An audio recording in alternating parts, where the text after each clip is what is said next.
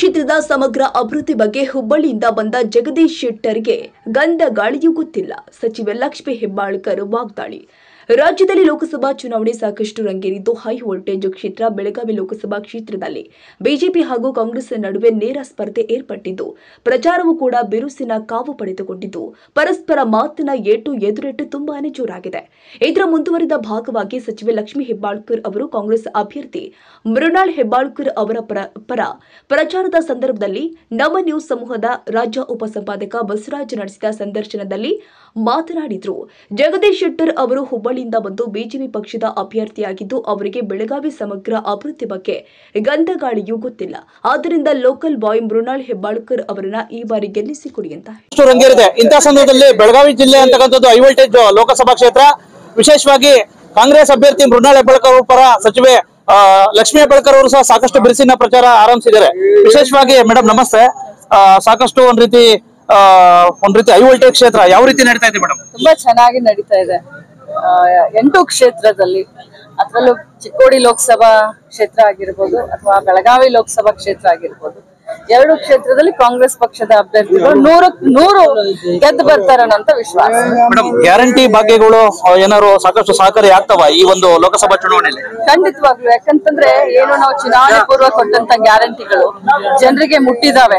ಈಗ ನಾವು ಗ್ರೌಂಡ್ ಲೆವೆಲ್ಗೆ ಹೋಗಿ ಪ್ರಚಾರವನ್ನ ಮಾಡುವಂತ ಸಂದರ್ಭದಲ್ಲಿ ಪ್ರತಿಯೊಬ್ರು ತುಂಬಾನೇ ಅಂದ್ರೆ ತುಂಬಾನೇ ಹ್ಯಾಪಿ ಇದ್ದಾರೆ. ಎಲ್ರು ಹೇಳ್ತಾರೆ ನಮಗ್ ಗ್ಯಾರಂಟಿ ಮುಟ್ಟಿದೆ. ನಿಮ್ಮ ಮೇಲೆ ನಮ್ಗೆ ಗ್ಯಾರಂಟಿ ಇದೆ. ನೀವು ಅಭಿವೃದ್ಧಿ ಮಾಡ್ತೀರಿ ಕೊಟ್ಟು ಮಾತ್ರ ನಡ್ಕೊಳ್ತೀವಿ ಅಂತ ಬಹಳಷ್ಟು ಖುಷಿ ಇದ್ದಾರೆ. ಏನ್ರಮ್ಮ ಮುಟ್ಟಿದಾವ ಗ್ಯಾರಂಟಿಗಳು? ವಿಶೇಷವಾಗಿ ಸಾಕಷ್ಟು ಒಂದ್ ರೀತಿ ಬಿಜೆಪಿ ಪಕ್ಷದ ಒಂದ್ ರೀತಿ ಮಾಜಿ ಮುಖ್ಯಮಂತ್ರಿಗಳು ಒಂದ್ ರೀತಿ ಒಂದ್ ಕಡೆ ಮೃಣಾಲ್ ಹೆಬ್ಬಾಳ್ಕರ್ ಅವರು ಯಾವ ರೀತಿ ಇದೆ ಮೇಡಮ್? ಒಂದ್ ಕಡೆ ಇವತ್ತು ಯತ್ನಾಳ್ ಅವರು ಒಂದು ಮಾತು ಹೇಳಿದ್ದಾರೆ. ಆ ಲಕ್ಷ್ಮೀ ಹೆಬ್ಬಾಳ್ಕರ್ ಅವರು ಮತ್ತೆ ಬಿ ಎಸ್ ಅವರು ಮ್ಯಾಚ್ ಫಿಕ್ಸಿಂಗ್ ಮಾಡ್ಕೊಂಡಿದ್ದಾರೆ ಅಂತ ಹೇಳ್ಬಿಟ್ಟು. ನೋಡಿ ನಾನು ಅದ್ರ ಬಗ್ಗೆ ಜಾಸ್ತಿ ಮಾತನಾಡೋದಿಲ್ಲ. ಯಡಿಯೂರಪ್ಪ ಸಾಹೇಬ್ರು ನಮ್ಮ ಸಮಾಜದ ದೊಡ್ಡ ನಾಯಕರು. ಅವ್ರ ಆಶೀರ್ವಾದ ನಮ್ಮ ಮೇಲೆ ಇದೆ ಅದೇ ರೀತಿ ಯತ್ನಾಳ್ ಅವರು ನಮ್ಮ ಪಂಚಮಸಾಲಿ ಸಮಾಜದ ದೊಡ್ಡ ಹಿರಿಯ ನನ್ನ ಸಹೋದರರು. ಅವ್ರು ಏನ್ ಮಾತಾಡ್ತಾರೆ ಎದಕ್ ಮಾತಾಡ್ತಾರೆ ನನಗಂತೂ ಏನು ಅರ್ಥ ಆಗೋದಿಲ್ಲ. ಒಟ್ಟಾರೆಯಾಗಿ ಹೇಳ್ಬೇಕಂತಂದ್ರೆ ಕ್ಷೇತ್ರದ ಜನರಿಗೆ ನಮ್ಮ ಮೇಲೆ ನಮ್ಮ ಪಕ್ಷದ ಮೇಲೆ ಬಹಳಷ್ಟು ವಿಶ್ವಾಸ ಬಂದಿದೆ. ಆ ವಿಶ್ವಾಸನೇ ಮುಂದಿನ ದಿನದಲ್ಲಿ ನಮ್ಮ ಚುನಾವಣೆಯಲ್ಲಿ ಕೆಲಸ ಕೆಲಸ ಮಾಡ್ತಾರೆ ಎಲ್ಲಾ ಕಾರ್ಯಕರ್ತರಿಗೆ ಏನ್ ಹೇಳಿ ಬಯಸ್ತೀರಾ ಮೇಡಮ್? ಯುವಕನಿಗೆ ಒಂದು ಅವಕಾಶವನ್ನ ಕೊಡಿ. ಯಾಕಂತಂದ್ರೆ ಹೊರಗಿನವ್ರಿಗೆ ಬಂದವ್ರಿಗೆ ಸ್ಥಳೀಯವಾದಂತ ಸಮಸ್ಯೆ ಬಗ್ಗೆ ಅರಿವಿರೋದಿಲ್ಲ ಯಾಕಂತಂದ್ರೆ ಇಲ್ಲಿ ಎಲ್ಲಾ ಜಾತಿ, ಎಲ್ಲಾ ಸಮುದಾಯ, ಎಲ್ಲಾ ಭಾಷಿಕರನ್ನ ಜೊತೆಯಲ್ಲಿ ಕರ್ಕೊಂಡು ಹೋಗ್ಬೇಕು.